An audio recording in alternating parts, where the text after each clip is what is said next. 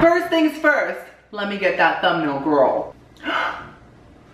Chunky, you me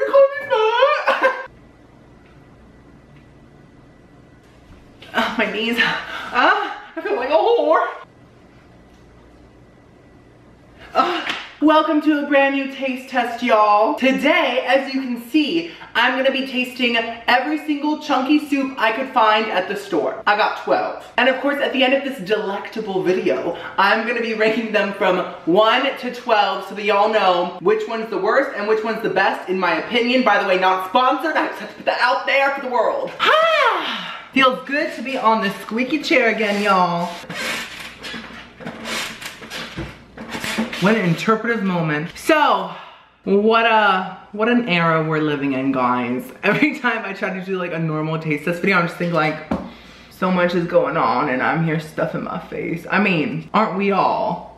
but I'm doing it on camera, girl. So a few things before we start, I just wanna say, all these soups are completely cold. I'm gonna heat them up as I taste test them. So like one at a time, I heat it up and then I taste test it. Cause y'all know, sometimes I let my food get cold and y'all get grossed out and this is like soup, so I feel like it has to be hot or else I'm gonna get some backlash and I do not wanna be canceled by soup in 2020, okay? That is just not the way that I want this to go. So yes, each soup will be totally hot. And now another thing that you guys might cancel me for, I am using paper bowls.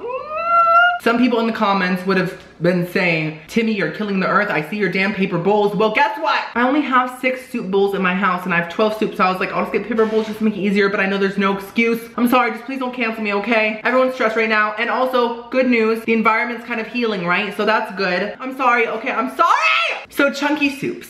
I used to eat them all the time in my childhood and teenage years. We were kind of low on income most of my life. So this right here was a meal for us, okay? So I used to have them all the time, but I probably haven't had them, honestly, in like at least 12 years. So I'm very excited to see which flavors I like, which flavors I don't, which one's my favorite, which one's my least favorite. We're gonna find all that out today. So the flavors I got are pub style chicken pot pot, creamy chicken and dumplings, we stand, I hope that's good. Steak and potato, I love being a British legend, honestly. I honestly think I'm part British because like my mom is like white as hell and I know that her like ancestors are from like all over Europe. So I'm sure I have some fish and chips in my blood. And of course, y'all know I am half Cubano. I had to say it. We have split pea and ham soup, chicken con chowder. All these honestly sound great with a British accent. I can't. Wicked Thai style chicken, rice, and vegetables, okay? Why does it say wicked? The wickedly talented. Adele. John Travolta gave us that meme and honestly blessed us way too much. Baked potato with cheddar and bacon bits. Chicken broccoli cheese with potato. Very nice. A lot of potatoes up in here. Ah! Chicken noodle. Beef with country vegetable. I'm getting soup all over my hands. Chili mac. That's very exciting. I did not know that Chunky even made chili mac. That's very Chef Boyardee of them, right? And grilled chicken and sausage gumbo. So we have a lot to taste. I'm very excited. And also this is very quarantini kind of food. So I think this might help y'all purchase delicious soups and not like the crappy ones. By the way, guys, I forgot to mention, I have memberships on my channel in case you didn't hear. I now have multiple different levels of membership. There's the true tomatoes, the silver tomatoes, and the gold tomatoes. The true tomatoes get to come to exclusive live streams and talk to me. It's so much fun. We have literally the best time. Um, the um, silver tomatoes get the live streams plus their picture gets to be in one of my videos every single month. And the gold tomatoes get to go to the live streams, they get the picture in my videos, and they get access to a secret Twitter and Instagram where we all talk and communicate literally daily and it's so much fun. I've been having the funnest time getting to know all of you. It's just been the best thing ever. So if you wanna join, hit that join button or click the link at the top of the description. I know it's a very difficult time for everyone, like financially. So please don't feel pressured to join. My videos will always be 100% free. This is just extra stuff if you want to. So please don't feel pressured. And if you wanna join in the future, the membership will still be there. So don't worry about it. Um, anyways, I just wanna say that quickly. Thank y'all for listening. Okay, let's get back to the taste test. Let's start with something simple. Let's just do chicken noodle, okay? Ah, spilling! Oh my God, these bowls are so full. Who knew paper bowls were so flimsy? Oh my God, okay. Don't look at my crusty ass microwave. Okay, y'all, so it's nice and hot, very exciting. So this has two servings per container, but for me, it's all one serving because hello, if I'm gonna eat this, I'm eat the whole damn can. I do not have a guinea pig sized stomach. So the whole container is 230 calories, eight grams of fat, 880 milligrams of sodium. Ooh, kind of drying. Felt a little parched. 27 carbs, um, 16 grams of protein. Okay. I love these thick ass noodles. We stand.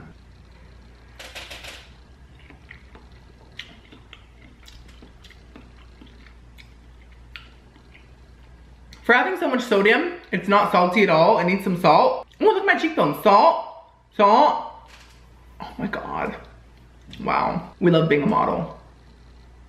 Um, the noodles are delicious. I love them. Um, the carrots are quite, quite tender. And I like a lot. Let's try the chicken though.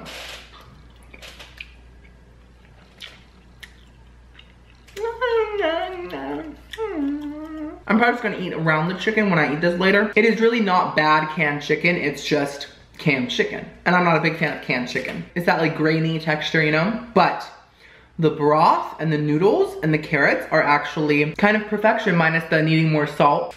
Fabulous. Okay, next up, let's do one of them creamy ones. We have a lot of creamy ones here. Let's do the creamy chicken and dumplings. So here's the chicken and dumplings. It doesn't smell good, to be honest. It smells like a like a pea. Not pea like from a genitalia, like pea like like this pea. Like this little bitch right here. Let's check out the stats, okay? The whole container is 370 calories, 21 grams of fat. Oh my god, the sodium. Oh my god. I literally just got dehydrated. My pee instantly just turned dark yellow, bitch. The sodium for the whole can is 1,900 30. Why in the Lord's name is there so much sodium in here? That's a whole day's worth of sodium or even more, I'm not sure. Crazy, crazy. This could dry out my titty milk. Let's first try one of the dumplings. I love dumplings.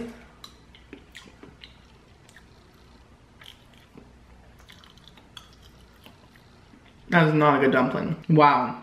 Wow. It really tasted like nothing, like cardboard, like air, like just not good and it was very grainy. Wow, let's just try everything else now.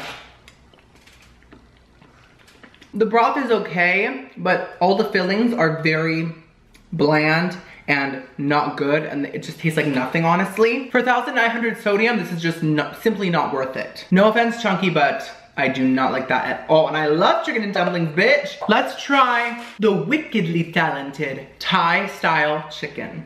So this one is 320 calories, 11 grams of fat, 1,700 milligrams of sodium. This is so much more than like a Lean Cuisine or any of those brands. This, like this has me shook. Nothing against Chunky, but please be careful when you're buying these soups. Just check out the sodium first because this is crazy. So this has white meat chicken, rice, and vegetables in a Thai style sauce. That's it. So let's see how it tastes.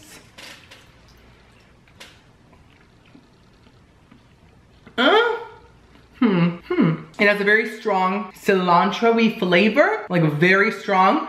Um, it does have a nice little kick of spice, which I like. And the rice in it is good. It's not bad overall. So far, it definitely has the most flavor, but the cilantro flavor is quite strong. And I don't love cilantro. If you love it, you'll probably like this a lot, but I personally don't. So, it's okay, it's pretty good. Next up, let's try a beefy one. Let's do the steak and potatoes. So my sister, Sarah, I know that you might be watching this. She has very trashy taste buds just like I do, but we are different kinds of trashy. I like things like trashy Taco Bell, things like that. She likes things like canned beef stew. That's like her favorite thing in the world. So this one's for you, Salita. Let's get a steak, a potato, everything in here.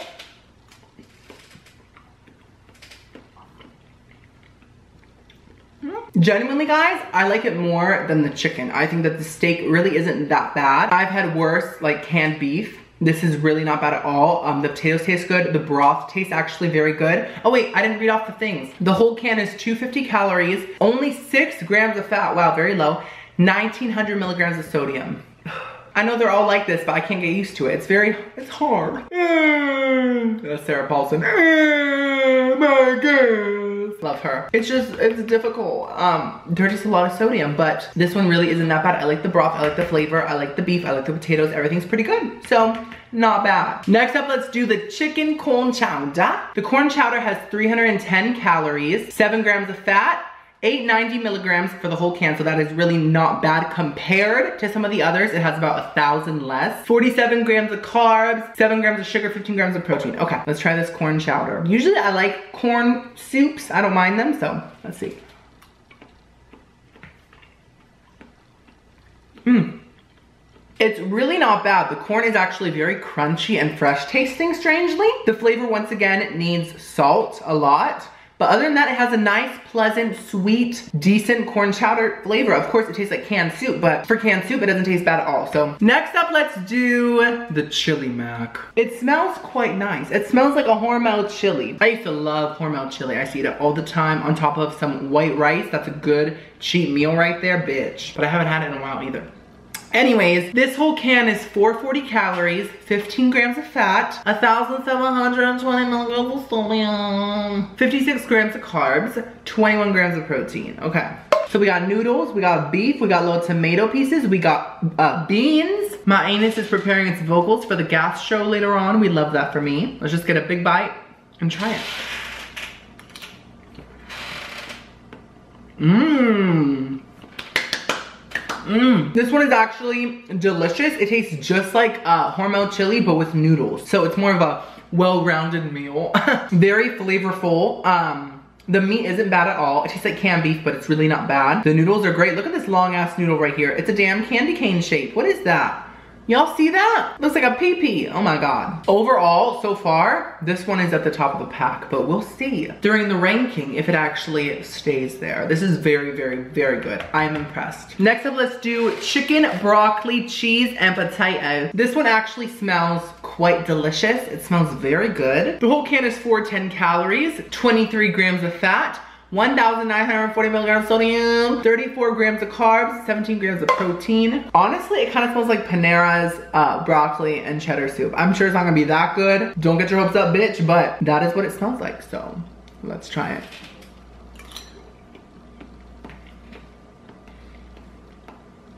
Honestly, it's not bad at all. It's actually pretty good. The actual broth is very broccoli cheddar, like bam. Like it doesn't need salt. It has the flavor all there. The potatoes do taste a little meh in it, but honestly, it is one of the better ones for sure, like for sure. This makes me miss eating out though, because I used to always go to Panera and oh, I love their tomato soup and their kitchen sink cookie is so delicious, but it's so bad, guys. It's so dirty, but it's so good. Next up, let's try the split pea and ham soup. This one actually looks pretty good. So this says split pea and ham with natural smoke flavor. How do you get natural smoke flavor? I, I'm not a scientist, but do you just like go and capture some smoke outside? Like, it also says that it's heart healthy. So let's see what the stats are. The whole can is 360 calories, 4.5 grams of fat, 35 milligrams of cholesterol, 900 milligrams of sodium, and 53 grams of carbs. Okay, I'm not a doctor, but I don't know if that much sodium is good for the heart. A bite. Mmm. Mmm. Mmm. Mm, it's actually pretty good. Um, I like the split pea flavor, it's good. It did get a little bitter while I was chewing. I don't know why there was a, there was a slight bitterness, but it wasn't bad. I wanna try the ham now, because I didn't try that before. Mmm. Mmm. It's weird. The ham is very flaky and not much flavor. It's just like a chewy, flaky meat. Um, but the actual soup itself really isn't that bad. So we'll see where it ranks. Next up, let's do the grilled chicken and sausage gumbo. So this one has 310 calories, 8 grams of fat, 1,850 milligrams of sodium, 45 grams of carbs, 15 grams of protein. Honestly, guys, like, if you're gonna eat this much sodium, like, personally, I would rather have, like, a ramen noodle. It's way more delicious. No offense, chunky, but it is. I know this has meat and stuff in it, but the meat ain't worth it. By the way, this is all just my opinion. Don't hurt me, chunky. I'm sorry. Okay, let's try the sausage gumbo. Mm. Mm. Mm. Honestly, this one's one of the best. The sausage feels like real sausage. There's a nice spice to the whole soup. Um, the rice tastes great. Um, it's just nice, spicy, salty, and pretty delicious. This is definitely one of the best. We only have three left, guys. We have baked potato, beef with vegetables, and chicken pot pie. Let's do chicken pot pie, okay. So it says pot pie, but what does it have in it? It doesn't say. Oh, it has dumplings. So is it chicken and dumplings? It definitely smells just like it, but with more of a dog food essence. No offense, Chunky. It just has some canine essence, you know? Let's try it out.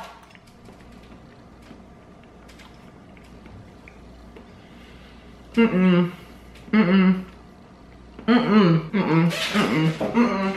Mm-mm. Ew! Oh my god. It is exactly like the chicken and dumplings one, but worse. Somehow just more processed, more dirty. I don't even know. I just did not like that flavor at all. The texture, I literally had to spit it out. I could not. It's just so grainy. Why is it grainy? Why is a dumpling grainy? A dumpling is not supposed to be grainy. It's supposed to be fluffy. Are we on a beach? Are we eating sand? I don't think so. Next up, let's do the beef with vegetables. So it seems like the beef and vegetables has beef, potatoes, uh, celery, carrots, and peas. It is only 3.5 grams of fat, very low, 1,870 milligrams of sodium, 35 grams of carbs, and it smells like dog food. Again, I don't understand. It really smells like dog food, like soft canned dog food. Maybe fancy dog food. I wanna get everything in one bite. There we go. Uh-oh. Oh. Oh! Oh!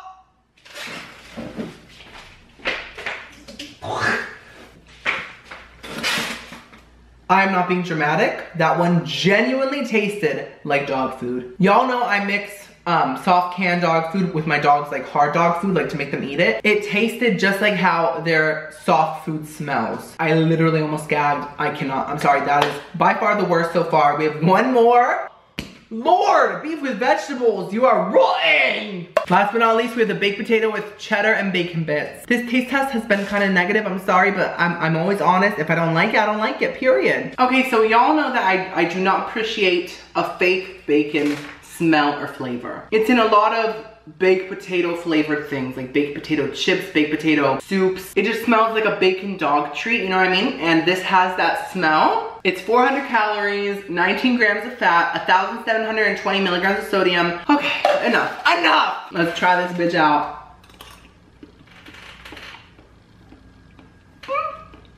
This one's not bad. It does have that fake bacon flavor, but it's not terrible. The potatoes are eh, everything's eh, but it's just not that bad. So anyways, I'm done taste testing. I'm very happy about that. Let's rank all the soups from worst to best right now. Okay, so the grossest by far, in my opinion, is the beef with country vegetables. And then I have to go with the pub style chicken pot pie and then the chicken and dumplings, and then the baked potato, and then the chicken corn chowder, and then the Thai one, and then steak and potato. These six aren't that bad, okay? And then I think split pea, the broccoli and cheese one, and then the gumbo, and then the chicken noodle, and then the chili mac. The chili mac was by far the best in my opinion. Some of these are bearable, some of these aren't, and I'm not a big chunky fan, but let me know in the comments below if you like chunky, or if you like a different brand of soup, let me know, okay? By the way, don't forget if you are interested in my membership, the link will be at the top of the description or hit the join button. I'll see you in the next video. I love you so much. Ooh,